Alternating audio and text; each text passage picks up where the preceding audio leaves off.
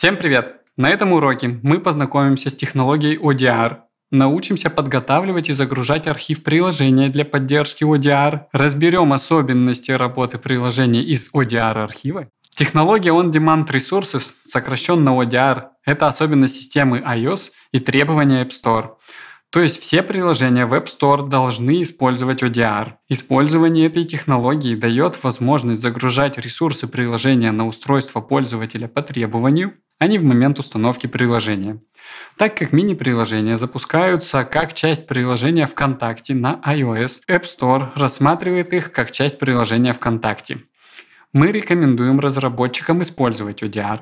Это обязательное требование для публикации мини-приложения в каталоге ВКонтакте на iOS, а кроме того, это дает возможность мини-приложению открываться в WebView и выглядеть для пользователей так же, как обычное iOS-приложение.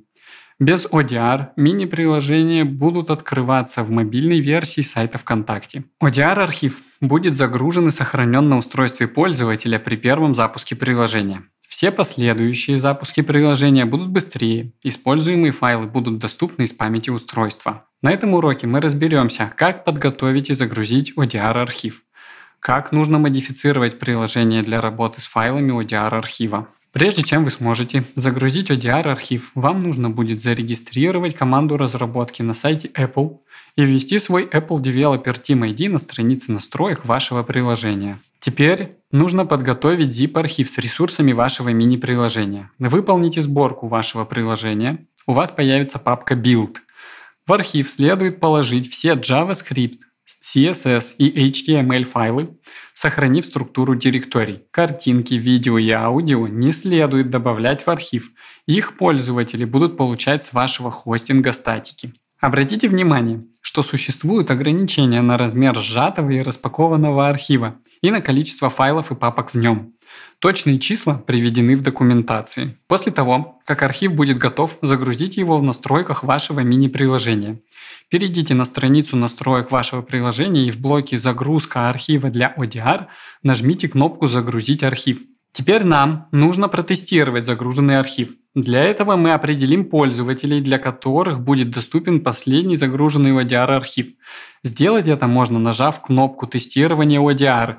Для остальных пользователей этот архив пока недоступен. В случае обновления архива пользователи вне списка продолжат получать последний архив, который прошел модерацию.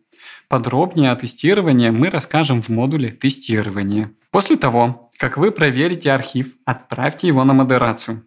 Сначала его проверят сотрудники ВКонтакте, и, если все хорошо, они включат ваш архив в большой пакет с ресурсами ВКонтакте и отправят его на проверку в Apple, где его проверят Apple Reviewer Team. Архив станет доступен пользователям после прохождения обеих проверок.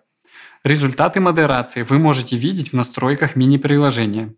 Вы также получите сообщение ВКонтакте с уведомлением о результатах модерации. Один из основных моментов, на который нужно обратить внимание при работе с ODR – организация доступа из HTML страниц, хранящихся в архиве, к серверу мини-приложений и внешним ресурсам. У HTTP запросов, которые поступают на сервер, в заголовке Origin будет указана не HTTPS схема, а также будет другой домен, не тот, на котором работает сервер. По умолчанию это приведет к возникновению корс ошибки.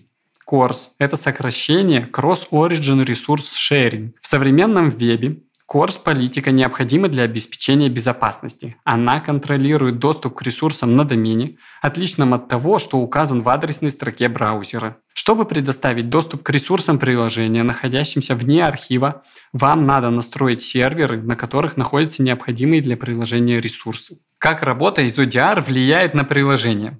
При работе с ODR запросы к внешним ресурсам нужно будет делать через схему VK Course. Это означает, что в файлах приложения в ODR-архиве нужно будет изменить схему запросов.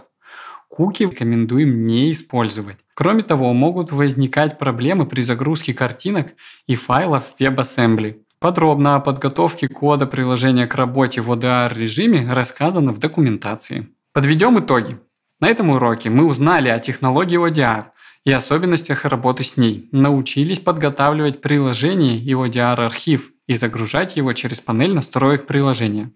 Спасибо за внимание. Ждем вас на следующем уроке, где мы изучим работу с API ВКонтакте.